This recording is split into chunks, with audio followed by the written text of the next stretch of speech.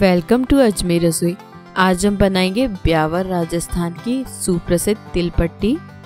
आप इस रेसिपी को इस मकर संक्रांति ज़रूर ट्राई कीजिएगा।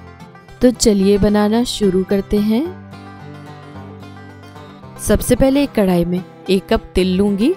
ये वेट में 100 ग्राम है। हमें इन्हें हल्का रोस्ट करना है। मैंने यहाँ बिना छिलके वाले तिल लिए हैं, जिन्हें धुले हुए तिल भी कहते हैं।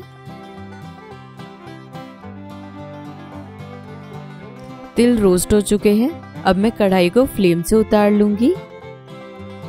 अब मैं तिल पट्टी के लिए शुगर सिरप तैयार करूँगी। ये मैंने एक कप चीनी ली है, जो वेट में 200 ग्राम है। अब मैं इसमें आधा कप पानी डालकर चीनी घुलने तक पकाऊँगी।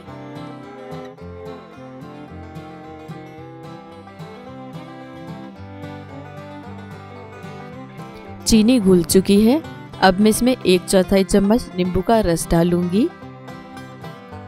इससे हमारे शुगर सिरप में क्रिस्टल नहीं बनेंगे।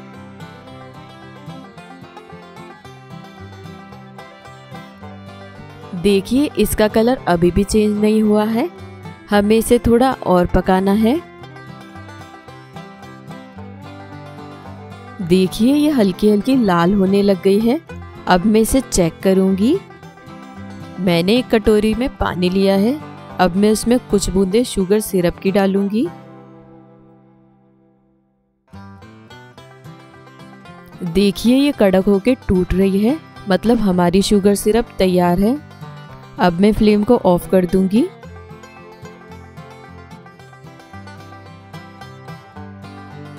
अब मैं फटाफट से शुगर सिरप को रोस्ट किए हुए तिलों में डाल दूँगी।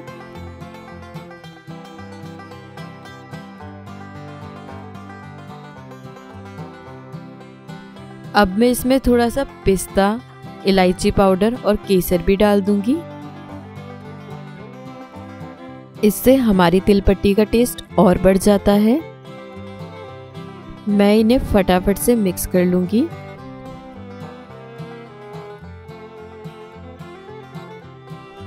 अब मैं थोड़ा सा तैयार किया हुआ तिलपट्टी का मिश्रण लूँगी। मैंने चकला और बेलन के थोड़ा सा घी लगा लिया है। अब हमें इसे इस तरह से तिल पट्टी की शेप में बेल लेना है। आपको इसे जितना पतला हो सके उतना पतला बेलना है। आपको इन्हें फटाफट बेलना है, नहीं तो आपका मिश्रण ठंडा होकर कड़क हो जाएगा। देखिए, हमारी तिलपट्टी कितनी अच्छी बनी है। इसी तरह हम सारी तिलपट्टी तैयार कर लेंगे।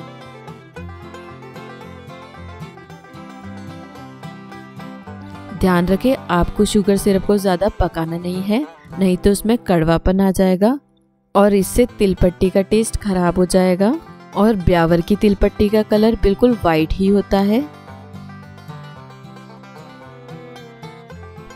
मैंने सारी तिलपट्टी बेल ली है और देखिए ये बिल्कुल कड़क भी हो चुकी है। देखिए, हमारी तिलपट्टी जितनी दिखने में अच्छी है, उतनी खाने में भी टेस्टी है। आपको तिलपट्टी के इस तरह से पेपर लगा के रखना है, नहीं तो ये चिपक कर खराब हो जाएगी। आप इसे एयरटाइट कंटेनर में कितने भी दिन के लिए स्टोर करके रख सकते हैं। अगर आपको ये रेसिपी पसंद आए तो प्लीज़ इस वीडियो को लाइक करें और अगर आप मेरे चैनल पर नए हैं तो मेरे चैनल को सब्सक्राइब करें।